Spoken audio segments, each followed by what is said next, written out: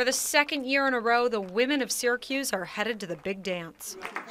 It's the first back-to-back tourney trip for the Orange and the second for sophomore Brittney Sykes.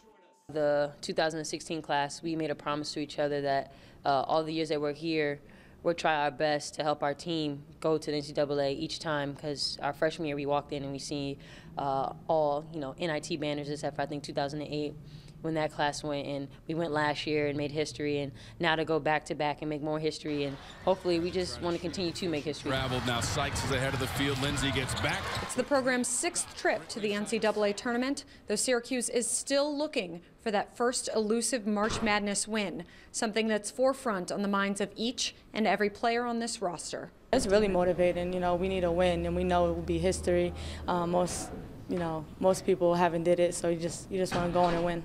Considering Syracuse has never won in the NCAA tournament, is that on your mind at all? Of course. I mean, um, you make the tournament. That's one step. And then now when you go to the tournament, you want to win. Uh, everybody wants to win. It's 64 teams. You know, you want to be one of them that makes history for your school. 63-53. Obviously, you want to win every game that you go into. But obviously, when it's there, it's over your head, and, and you know, pe pe people talk about it a lot, and, and we just go, in, go into it and knowing that we are preparing for an opponent as a game that we have to win.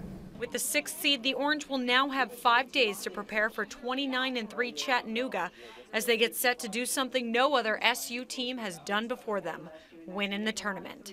For now, reporting from the Melo Center, I'm Kelly Cowan.